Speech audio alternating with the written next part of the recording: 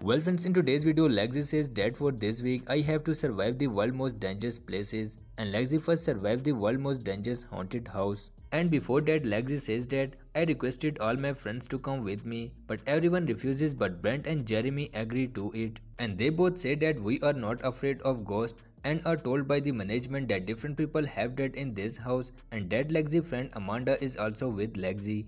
Because Amanda is good at talking to ghosts and they don't know what's going to happen next, they all go to the dining room to talk to ghosts and they have ghost detector device. And then one by one they all address themselves to the ghost and then suddenly they hear footsteps outside but when Amanda goes outside there is no one there. Then they start talking to the ghost again and this time the light on the device starts blinking to indicate the presence of the ghost and then after visiting the entire haunted house, Lexi moves on her to next challenge. In the next challenge, Lexi spends her whole night on the world most dangerous bed which is 60 feet above the ground and is very terrifying for Lexi and here Ben and Brent go to tease Lexi. They both wish they will not let Lexi complete the mission with the bed and Ben annoys Lexi and Brent disturbs Lexi by sitting down and making different noises through the loudspeaker and Lexi gets really fed up with them and Brent leaves and then Andrew goes up to Lexi and start harassing her and Lexi can't complete her challenge because of them and they come down. Then after that Lexi next mission is that Lexi will spend a night inside the vending machine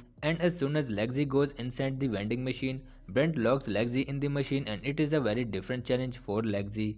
And Lexi enjoys this challenge by eating snacks. Then Pierson comes here and she is surprised to see Lexi in this condition. And Lexi completes her challenge and spends a night inside this vending machine. So guys thank you so much for watching this video. I have given the link of the official video in the description. You can also watch their official video. See you again in a new video. Until then take care.